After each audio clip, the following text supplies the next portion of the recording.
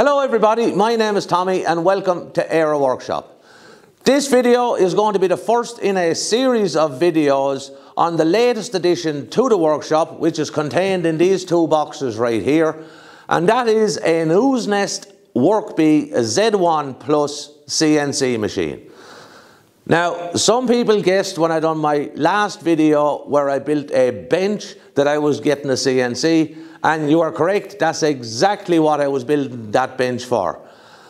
This machine is designed and manufactured in the UK by Ooznest and it comes in a kit form. So you do have to assemble the components once you receive the machine.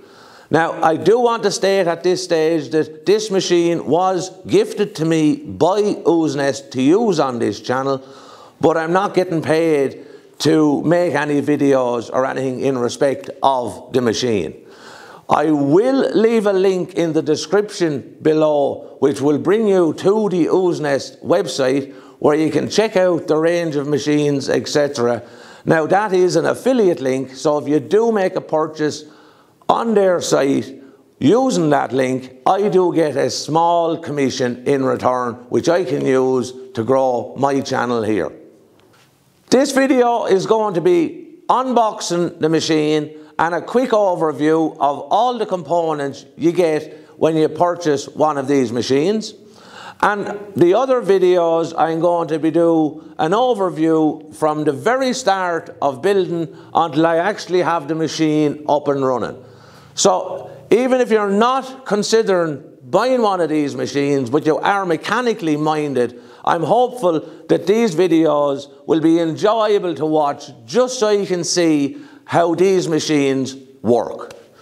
So the next thing I'm going to do now is just take everything out of the two brown boxes, lay it on the bench and then we'll run through what you actually get with the machine.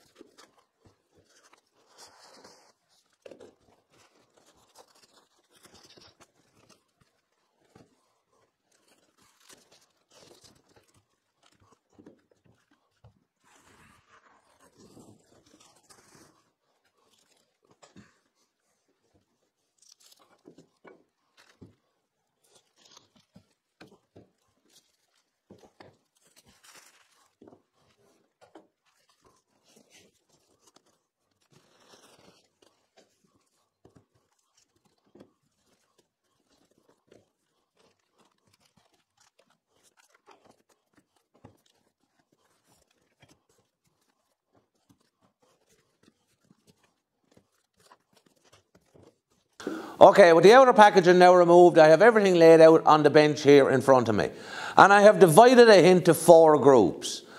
Now, the reason I've done that is because you have certain components that will vary depending on the size of the machine. You have standard components that don't vary regardless of what size of machine you have.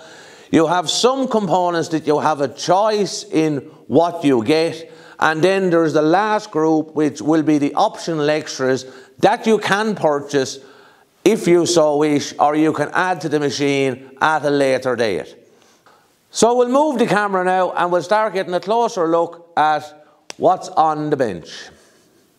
Okay, the first thing you're going to find when you open the smaller of the two boxes on the top of everything is this card. Now this card is very important because the machine doesn't come with an instruction manual enclosed in the boxes. So it gives you the website that you need to go to, which is learn.ooznest.co.uk to access the instruction manuals. And it also gives you the model number, which is a Z1 Plus, and the version. In this case, it's version 1.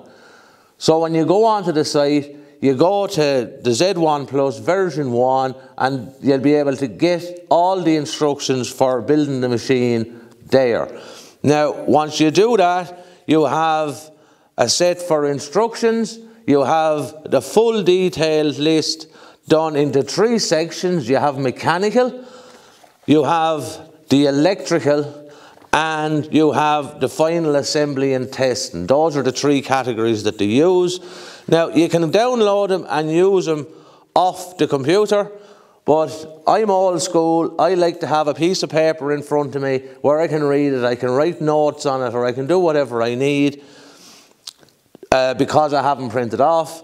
And you'll note that even in the instructions, it gives you a list of the tools required to build the machine. Now, there's nothing extraordinary there. They're basic enough tools. It's going to be just some Allen keys, some spanners, uh, a flathead and Phillips screwdriver, an engineer square, a rubber mallet or a soft mallet, and tweezers and wire cutters. It's a very simple toolkit that's required to build this machine. But you will also see in certain parts there'll be a link to a what they call cheat sheets. Now, this is a cheat sheet for what's contained in all the brown boxes that are laid on the bench. So it tells you exactly what components are in each of the smaller boxes. So what I'm going to be doing is I'm going to leave everything in the boxes until I actually need the part. Then I can go to this and I can reference to know what box do I find each component in. So just for example, if I'm looking for precision shims or bearing shims, I know that I can go to the box that's brackets and spacers.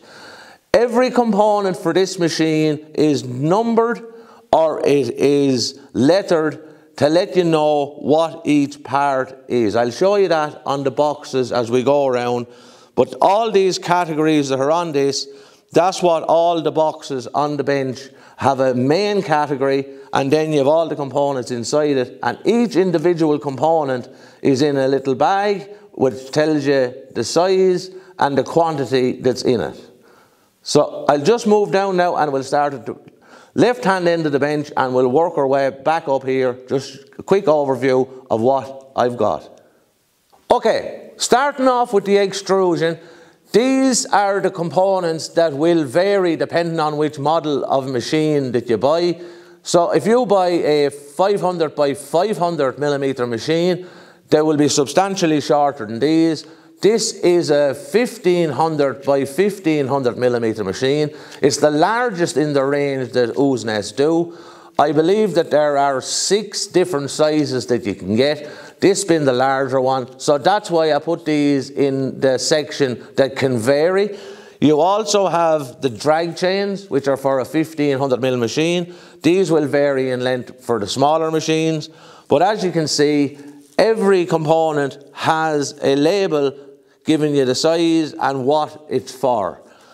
Um, the lead screws are the same. They come in a package. They will vary in length as well. And they all have little plastic uh, markers which is telling you that's for the X, this is for the Y, and this is for the Y. So it's very simple to distinguish each component that you need from the bundles because they're very well marked. Okay, we're moving on now to the section that is standard with all the sizes of machines and each box is labelled as to what category is in each box. So this box, for example, is mounts. This one is stepper motors. You have brackets and spacers, motion hardware, aluminium plates, wires, and the power supply, and emergency stop. Now, like I said, every box has the components. They're all individually in little bags, and it'll tell you what is in each bag and the quantity. And no matter what box you go to, everything is done the same. There might only be one washer, or it might be 10 washers, or it could be 100 washers, or whatever, but they're all individual, and it'll tell you what it is. So when you're following the instructions, you know exactly which bag you're looking for. And if you have the little cheat sheet that I showed earlier, you'll know which box to go look for each part. And for the likes of the aluminium plates, where they don't have each one individually stickered, you get a card which shows you the shape and size of each component and what that component is. So it's a very easy reference to know that, say that's the nameplate and that, uh, for example, this one here is the X back plate because you can see it in the picture there. So, and as you can see, everything is very well packaged so that there's no uh, risk of getting damage in transport. You also get your power supply cord, depending on which country you're in. Uh, the plugs will vary. You get two packets of cable ties for tidying up the wires. And you also get a little box marked extras. Now, this little box contains very important things. You get some treats for buying the machine. You also get two uh, bits to use with your machine. Uh, in this case, you get a 30 degree V bit and you get a 6 mil or a quarter inch uh, straight cutting bit.